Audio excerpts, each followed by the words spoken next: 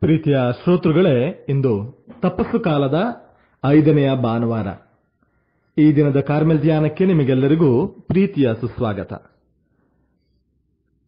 ಈ ದಿನದ ಧ್ಯಾನಕ್ಕೆ ಎಜೆಕಿಯಲ್ ಪ್ರವಾದಿಯ ಪುಸ್ತಕದಿಂದ ವಾಚನವನ್ನ. ಸರ್ವೇಶ್ವರ ನನಗೆ ಹೀಗೆಂದರು, ನೀನು ಈ ದೈವೋಕ್ತಿಯನ್ನು ಅವರಿಗೆ ನುಡಿ. ಸರ್ವೇಶ್ವರನಾದ ದೇವರು ಇಂತೆನ್ನುತ್ತಾರೆ. ನನ್ನ ಜನರೇ ನೋಡಿ ನಾನು ನಿಮ್ಮ ಗೋರಿಗಳನ್ನು ತೆರೆದು ಅವುಗಳೊಳಗಿಂದ ನಿಮ್ಮನ್ನು ಎಬ್ಬಿಸಿ ಇಸ್ರಾಯೇಲ್ ನಡಿಗೆ ಸೇರ ಮಾಡುವೆನು. ತೆರೆದು ಅವುಗಳೊಳಗಿಂದ ನಿಮ್ಮನ್ನು ಎಬ್ಬಿಸಿದಾಗ ನಾನೇ ಸರ್ವೇಶ್ವರ ಎಂದು ನಿಮಗೆ ದೃಢವಾಗುವುದು. ನಾನು ನನ್ನ ಶ್ವಾಸವನ್ನು ನಿಮ್ಮಲ್ಲಿ ಊದಿ ನಿಮ್ಮನ್ನು ಬದುಕಿಸಿ ನಿಮ್ಮ ದೇಶವನ್ನು ನೆಲೆಗೊಳಿಸುವೆನು. ಆಗ ಸರ್ವೇಶ್ವರನಾದ ನಾನೇ ಇದನ್ನು ನುಡಿದು ನಡೆಸಿದ್ದೇನೆ ಎಂದು ತಿಳಿದುಕೊಳ್ಳುತ್ತೇನೆ ಎಂದು ತಿಳಿದುಕೊಳ್ಳುವಿರಿ. ಇದು ಸರ್ವೇಶ್ವರನ ಸಂಕಲ್ಪ. ದೇವರ ವಾಕ್ಯ, ದೇವರಿಗೆ ಕೃತಜ್ಞತೆ ಸಲ್ಲಲಿ. ಒಬ್ಬಾತ ಹೀಗೆ ಕೊಚ್ಚಿಕೊಳ್ಳುತ್ತಿದ್ದ. ನಾನು ಹಿಂದಕ್ಕೆ, ನನ್ನ ಕೆಳಗೆ ಒಂದು ಸಾವಿರ ಜನ ಇದ್ದರು ಎಂದ. ಇಷ್ಟೊಬ್ಬ ಬಡಪಾಯಿ ನೋಡಲು ಏನು ಅಷ್ಟು ಸಿರಿವಂತನಂತೆ ಕಾಣುವುದಿಲ್ಲ. ಈತನ ಕೆಳಗೆ ಸಾವಿರ ಜನ ಇರುವುದೆಂದರೇನು? ಈತನಿಗೆ ಒಂದು ರೀತಿಯ ಕುತೂಹಲ. ಈತ ಆತನನ್ನು ಕೇಳಿದ. ಎಲ್ಲಿ ಕೆಲಸ ಮಾಡುತ್ತಿದ್ದೆ? ಅದಕ್ಕೆ ಆತ ನೀಡಿದ ಉತ್ತರ, ಆ ಸ್ಮಶಾನದಲ್ಲಿ ತೋಟವನ್ನು ನೋಡಿಕೊಳ್ಳುವ ಮಾಲಿಯ ಕೆಲಸವನ್ನು ನಾನು ಮಾಡುತ್ತಿದ್ದೆ ಎಂದ. ಪ್ರೀತಿಯ ಶ್ರೋತೃಗಳೇ, ನಾವೆಲ್ಲರೂ ಒಂದಲ್ಲ ಒಂದು ದಿನ ಸಾವನ್ನಪ್ಪಲೇಬೇಕು ಅಪ್ಪಲೇಬೇಕು ಸಾವು ನಮ್ಮೆಲ್ಲರನ್ನ ಒಂದೇ ರೀತಿಯಲ್ಲಿ ನೋಡಿಕೊಳ್ಳುತ್ತದೆ, ಎಲ್ಲರನ್ನ ಸಮಾನರನ್ನಾಗಿಸುತ್ತದೆ. ಸಾವು ನಮಗೆ ದೇವರು ನೀಡುವಂತಹ ಒಂದು ವರದಾನ ಎಂದರೂ ತಪ್ಪಾಗಲಾರದು. ಆ ವರದಾನದ ಮೂಲಕ ನಮ್ಮೆಲ್ಲರನ್ನ ಸಮಾನರನ್ನಾಗಿಸುತ್ತದೆ. ಹೀಗೆ, ಒಮ್ಮೆ, ಅಲೆಕ್ಸಾಂಡರ್ಗೆ ಒಬ್ಬ ತತ್ವಜ್ಞಾನಿ ಹೀಗೆ ಹೇಳಿದ.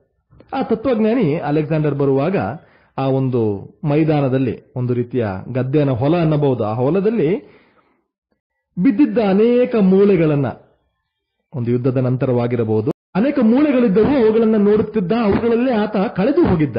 ಈತನನ್ನ ನೋಡಿ, ಈ ತತ್ವಜ್ಞಾನಿಯನ್ನ ನೋಡಿ ಅಲೆಕ್ಸಾಂಡರ್ ಕೇಳಿದ, ನೀನು ಏನನ್ನ ಹುಡುಕುತ್ತಿರುವೆ?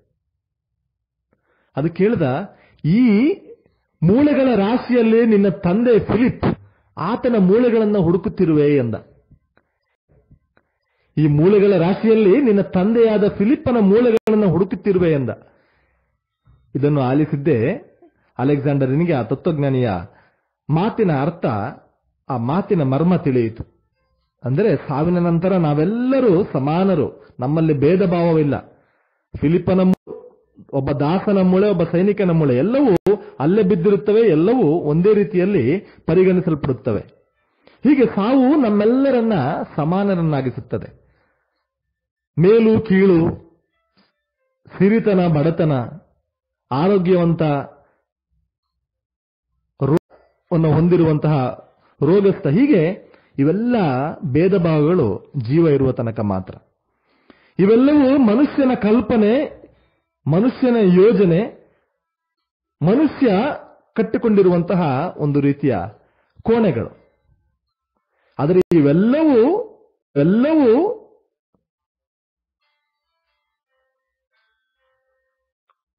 ಮನುಷ್ಯನ ಶಕ್ತಿಗೆ ಮೀರಿದ ಒಂದಲ್ಲ ಒಂದು ದಿನ ಇವೆಲ್ಲವೂ ನಾಶವಾಗುತ್ತವೆ. ಅದಕ್ಕಿಂತ ಮಿಗಿಲಾದ ಯಾವುದೋ ಒಂದು ಶಕ್ತಿ ಇದೆ ಎಂಬಂತಹ ಭಾವನೆ ಮನುಷ್ಯನಲ್ಲಿ ಒಂದಲ್ಲ ಒಂದು ದಿನ ಮೂಡಲೇಬೇಕು, ಅದು ಮೂಡುತ್ತದೆ. ಹೆಚ್ಚು ಕಮ್ಮಿ ಸಾವಿನಲ್ಲಿ ಮನುಷ್ಯನ ಕಲ್ಪನೆಗಿಂತ ಯೋಜನೆಗಿಂತ ಒಂದು ದೊಡ್ಡ ಶಕ್ತಿ ಇದೆ ಎಂಬಂತಹ ಅರಿವು ಪ್ರತಿಯೊಬ್ಬರಿಗೂ ಆಗುತ್ತದೆ. ಅದಕ್ಕೊಂದು ಉತ್ತಮವಾದ ಉದಾಹರಣೆ, ನಾವು ಈಗ ಇರುವಂತಹ ಪರಿಸ್ಥಿತಿ. ಒಂದಲ್ಲ ಒಂದು ರೀತಿಯಲ್ಲಿ ನಾವು ಸಾವಿನ ದವಡೆಯಲ್ಲಿ ನಿಂತಿದ್ದೇವೆ. ಸಾವಿನ ಅನುಭವ ಆಗುತ್ತಿದೆ. ನಮ್ಮ ಸಾವಿನಿಂದ ಅಲ್ಲದೆ ಆದರೂ ಮತ್ತೊಬ್ಬರ ಸಾವಿನಿಂದ ನಮಗೆ ನಮ್ಮ ಶಕ್ತಿಗಿಂತ ಮಿಗಿಲಾದ ಒಂದು ಶಕ್ತಿ ಇದೆ ಎಂಬಂತಹ ಭಾವನೆ, ಕಲ್ಪನೆ ಮನಸ್ಸಿನಲ್ಲಿ ಮೂಡಿದೆ.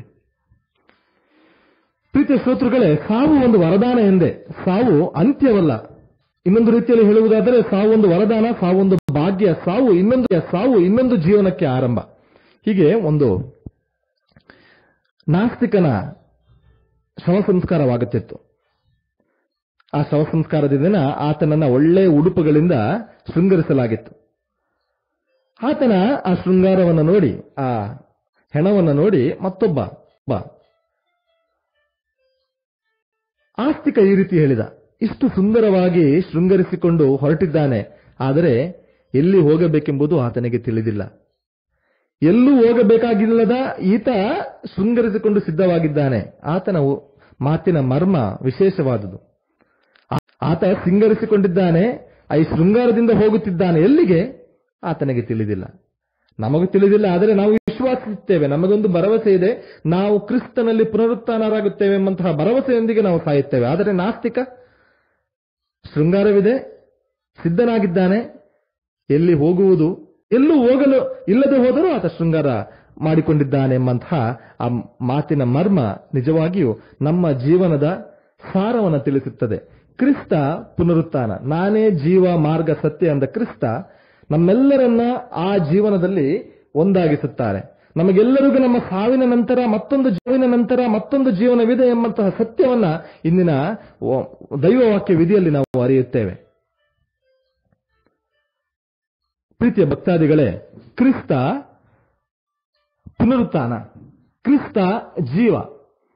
ನಮ್ಮೆಲ್ಲರ ಕಲ್ಪನೆಗಳಿಗಿಂತ, ನಮ್ಮೆಲ್ಲರ ಶಕ್ತಿಗಿಂತ ಮೀರಿದಂತಹ ಕ್ರಿಸ್ತ ನಮ್ಮೆಲ್ಲರನ್ನ ಅವರ ಪುನರುತ್ಥಾನದಲ್ಲಿ ಒಂದಾಗಿಸುತ್ತಾರೆ. ಆದ್ದರಿಂದ ನಮ್ಮ ಸಾವು ನಮ್ಮ ಅಂತ್ಯವಲ್ಲ, ನಮ್ಮ ಸಾವು ಒಂದು ವರದಾನ. ಕ್ರಿಸ್ತನಲ್ಲಿ ಒಂದಾಗಲು ಒಂದು ಅವಕಾಶ. ಅದರಿಂದ ಈ ಜಗತ್ತಿನ ಜೀವನವನ್ನ ನಾವು ಮುಗಿಸುವಂತಹ ಆ ಅವಶ್ಯಕತೆ ಬಂದರೂ ನಾವು ಧೈರ್ಯದಿಂದ ನಮ್ಮ ಜೀವನ ಅಂತ್ಯವಾಗುವುದಿಲ್ಲ. ನನ್ನ ಜೀವನ ಇನ್ನೊಂದು ಜೀವನದಲ್ಲಿ ಆರಂಭವಾಗುತ್ತದೆ. ಅದಕ್ಕೆ ಒಬ್ಬ ಬರಹಗಾರ ಹೀಗೆ ಹೇಳುತ್ತಾನೆ.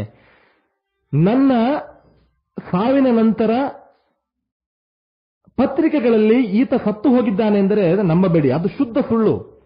ನಾನು ಸಾಯುವುದಿಲ್ಲ, ನಾನು ಇನ್ನೊಂದು ಜೀವನದಲ್ಲಿ ಮುಂದು, ಇನ್ನೊಂದು ಜೀವನದಲ್ಲಿ ಮುಂದುವರಿಯುತ್ತೇನೆ. ಆದ್ದರಿಂದ ಆ ಪತ್ರಿಕೆಗಳಲ್ಲಿ ಬಂದಂತಹ ಸುದ್ದಿಯನ್ನು ಮರೆತು ಬಿಡಿ ಅದನ್ನ ನಂಬಬೇಡಿ. ಏಕೆಂದರೆ ನಾನು ಸಾಯುವುದಿಲ್ಲ, ನನ್ನ ಜೀವನ ಇನ್ನೊಂದು, ಆ, ಹೊಸ ಜೀವನದಲ್ಲಿ ಮಾರ್ಪಾಡಾಗುತ್ತದೆ. ಆ ಹೊಸ ಜೀವನವನ್ನು ನಾನು ಆರಂಭಿಸಲಿದ್ದೇನೆ. ಶ್ರೇಷ್ಠವಾದ ಮಾತುಗಳು. ನಾನು ಪುನರುತ್ಥಾನರಾಗುತ್ತೇನೆ ಎಂಬಂತಹ ಭರವಸೆ ಆತನಲ್ಲಿ ಸಹೋದರ ಸೋದರ ಸೋದರಿಯರೇ ನಾವೆಲ್ಲರೂ ಕ್ರಿಸ್ತನಲ್ಲಿ ಪುನರುತ್ಥಾನರಾಗುತ್ತೇವೆ. ಇದೇ ಸತ್ಯವನ್ನ ಇಂದಿನ ದೈವವಾಕ್ಯ ವಿಧಿಯಲ್ಲಿ ನಾವು ಆಲಿಸಿದ್ದೇವೆ. ಈ ಮೂಳೆಗಳಿಂದ ಒಣಗಿ ಹೋಗಿರುವ ಎಲುಬುಗಳಿಂದ ಮತ್ತೆ ಜನರನ್ನು ನಾನು ಎಬ್ಬಿಸುತ್ತೇನೆ, ಅವರನ್ನು ಬದುಕಿಸುತ್ತೇನೆ. ಆಗ ನಿಮಗೆ ನಾನೇ ಸರ್ವೇಶ್ವರ ಎಂಬುದು ಅರಿವಾಗುವುದು ಎಂಬಂತಹ ಆ ಭರವಸೆಯ ವಾಕ್ಯಗಳನ್ನ ಎಜಕಿಯಲ್ ಪ್ರವಾದಿಯ ಆ ಮಾತುಗಳಲ್ಲಿ ನಾವು ಆಲಿಸಿದ್ದೇವೆ. ಇಂತಹ ಒಂದು ಘಟನೆ ಪ್ರಭು ಯೇಸು ಕ್ರಿಸ್ತರು ಮಾಡಿ ತೋರಿಸುತ್ತಾರೆ. ಲಾಜರ ತೀರಿ ಹೋಗಿ ನಾಲ್ಕು ದಿನಗಳಾಗಿದ್ದವು. ನಂತರ ಕ್ರಿಸ್ತರು ಆತನನ್ನ ಜೀವಕ್ಕೆ ಎಬ್ಬಿಸುತ್ತಾರೆ. ಈ ಮೂಲಕ ನಮಗೆಲ್ಲರಿಗೂ ನಾವು ಎಷ್ಟೇ ಕೊಳೆತು ಹೋಗಿದ್ದರು, ನಾಶವಾಗಿದ್ದರು ನಮ್ಮನ್ನ ಮತ್ತೆ ಅವರು ಬದುಕಿಸಬಲ್ಲರು. ನಾವು ದೇವರಿಂದ ಎಷ್ಟು ದೂರ ಹೋಗಿದ್ದರು ಮತ್ತೆ ನಮ್ಮನ್ನ ಅವರಲ್ಲಿಗೆ ಸೆಳೆಯಬಲ್ಲರು ಎಂಬಂತಹ ಸತ್ಯವನ್ನ ಈ ಇಂದಿನ ಶುಭ ಸಂದೇಶ ತಿಳಿಸುತ್ತದೆ. ಕ್ರಿಸ್ತರು ಮೂರು ಜನರನ್ನು ಎಬ್ಬಿಸಿದರು. ಮೊದಲನೆಯದಾಗಿ ಯಾಯಿರನ ಮಗ, ಯಾಯಿರನ ಮಗಳು, ಎರಡನೆಯದಾಗಿ ಆ ವಿಧವೆಯ ಮಗ, ಮೂರನೆಯದಾಗಿ ಲಾಜರ. ಈ ಮೂರು ಘಟನೆಗಳು ನಮ್ಮ ಆಧ್ಯಾತ್ಮಿಕ ಜೀವನದ ಮೂರು ಹಂತಗಳನ್ನು ತಿಳಿಸುತ್ತದೆ. ಯಾಯಿರನ ಮಗಳು ಎಲ್ಲರಿಗಿಂತ ಚಿಕ್ಕವಳು, ಯುವಕ, ಲಾಜರ ಇನ್ನು ಹೆಚ್ಚು ವಯಸ್ಸಿನವನು. ಯಾಯಿರನ ಮಗಳು ಆಗ ಮಾತ್ರ ಪ್ರಭು ಯೇಸು ಕ್ರಿಸ್ತರು ತಲುಪುವ ಸ್ವಲ್ಪ ಮುನ್ನ ಸಾವನ್ನಪ್ಪಿದ್ದಳು. ಆ ವಿಧವೆಯ ಮಗ ಸತ್ತು ಆತನ ಶವ ಸಂಸ್ಕಾರಕ್ಕೆ ಸಿದ್ಧತೆ ನಡೆಯುತ್ತಿತ್ತು. ಕೊನೆಯದಾಗಿ ಲಾಜರಸ್ ಆತನನ್ನ ಸಮಾಧಿಯಲ್ಲಿ ಇರಿಸಿ ಎರಡು, ಮೂರು ಮೂರು, ನಾಲ್ಕು ದಿನಗಳು ಆಗಿದ್ದವು, ಇದ್ದವು.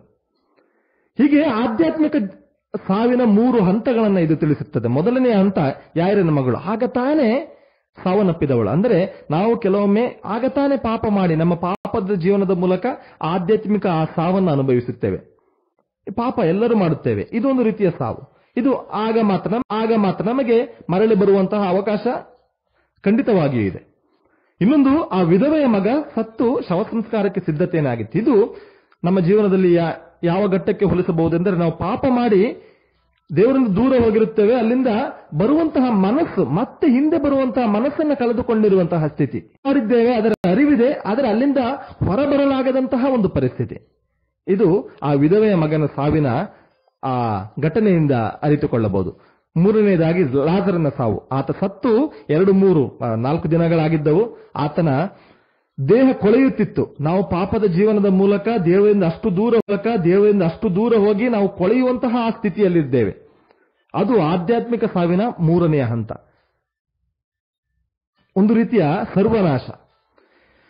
ಆದರೆ ಈ ಮೂರು ಘಟನೆಗಳ ಮೂಲಕ ಪ್ರಭು ಯೇಸು ಕ್ರಿಸ್ತರು ಈ ಮೂವರನ್ನು ಜೀವಕ್ಕೆ ಎಬ್ಬಿಸಿ, ಈ ಮೂರು ಹಂತಗಳಲ್ಲಿದ್ದವರನ್ನ ಮತ್ತೆ ಎಬ್ಬಿಸಬಲ್ಲರು ಎಂಬಂತಹ ಭರವಸೆಯನ್ನು ಮೂಡಿಸುತ್ತಾರೆ. ಆಗ ಮಾತ್ರ ಪಾಪವನ್ನು ಮಾಡಿ ದೇವರಿಂದ ದೂರವಾಗಿರುವಂತವರನ್ನು ಪಾಪದ ಕೂಪದಿಂದ ಬರಲು ಮನಸ್ಸು ಇಲ್ಲದವರನ್ನು, ಪಾಪದ ಕೂಪದಲ್ಲಿ ಇದ್ದು ಸರ್ವನಾಶ ಹೊಂದಿದಂತವರನ್ನು ದೇವರು ಎಬ್ಬಿಸಬಲ್ಲರು. ಯಾವಾಗ ನಾವು ಕ್ರಿಸ್ತನಲ್ಲಿ ವಿಶ್ವಾಸಿಸುತ್ತೇವೆ, ನಮಗೆ ಅಂತಹ ಒಂದು ಹೊಸ ಜೀವನವನ್ನ ಪ್ರಭು ಪಾಲಿಸಬಲ್ಲರು ಎಂಬಂತಹ ಸತ್ಯಗಳನ್ನ ಇಂದಿನ ದೈವವಾಕ್ಯ ವಿಧಿಯಲ್ಲಿ ನಾವು ಆಲಿಸಬಹುದು. ನಮ್ಮ ಆಧ್ಯಾತ್ಮಿಕ ಸಾವಿನಿಂದ ಮತ್ತೆ ಎದ್ದೇಳುವಂತಹ ಆ ಅವಕಾಶವನ್ನ, ವರದಾನಗಳನ್ನ ಪ್ರಭು ಕ್ರಿಸ್ತರು ನಮಗೆ ಕರುಣಿಸಲಿ. ಆಮೇನ್. ಇದು ಮೈಸೂರಿನ ಪುಷ್ಪಾಶ್ರಮದ ಬಾಲ